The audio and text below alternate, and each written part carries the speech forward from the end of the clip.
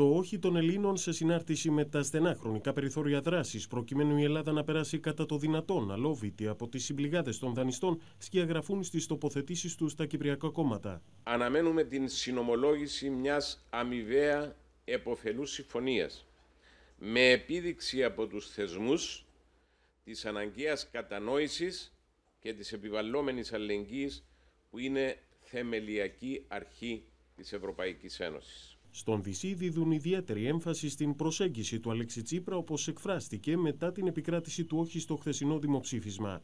Χαιρετίζουμε την δήλωση του Πρωθυπουργού ότι δεν εκλαμβάνει το αποτέλεσμα ως μήνυμα για ρήξη με την Ευρώπη αλλά ως μήνυμα για συνεργασία με την Ευρώπη και τους θεσμούς για μια κατάληξη σε ένα βιώσιμο μνημόνιο η συμφωνία. Κερδίθηκε μια μάχη, όχι όμως ο πόλεμος, αναφέρει το ΑΚΕΛ που θεωρεί ότι η ετοιμιγορία του ελληνικού λαού επιβάλλει στους θεσμούς να προβούν σε έντιμο συμβιβασμό με την Ελλάδα. Αποφεύγοντας την αιμονή στο νεοφιλελεύθερο παραλογισμό που οδηγεί ολόκληρους λαούς σε φτωχοποίηση. Σε αυτό το πλαίσιο θα πρέπει να κινηθεί και η Κυπριακή κυβέρνηση, η οποία, όπως και ο συναγερμός, ήσαν μέχρι σήμερα ταυτισμένοι με τη σκληρή γραμμή των Τροεκανών και στο ελληνικό ζήτημα. Το ΔΙΚΟ θεωρεί σημαντική την παραμονή της Ελλάδας σε ευρωπαϊκή τροχιά, τόσο για την ίδια τη χώρα όσο και για την Κύπρο. Σε μια εποχή που η Τουρκία επιδιώκει με κάθε τρόπο να ενταχθεί στην ευρωπαϊκή οικογένεια, μια ενδεχόμενη απομόνωση ή απομάκρυνση της Ελλάδας θα συνιστούσε μια αρνητική εξέλιξη για την Κυπριακή Δημοκρατία και τον Κυπριακό Ελληνισμό. Η ειλικρινή στήριξη της Ελλάδας από την Κύπρο στο νέο κύκλο σκληρής διαπραγμάτευσης που έπεται αναμένει η ΕΔΕΚ.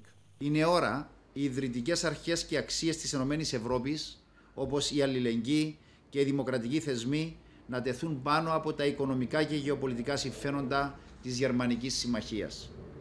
Σε αυτό το πλαίσιο, αναμένουμε ότι η Κυπριακή κυβέρνηση και ειδικότερα ο Κύπριος Υπουργός Οικονομικών θα στηρίξουν με ειλικρίνεια τις προσπάθειες της Ελλάδας. Στο ίδιο μήκος και η τοποθέτηση του Ευρωκό.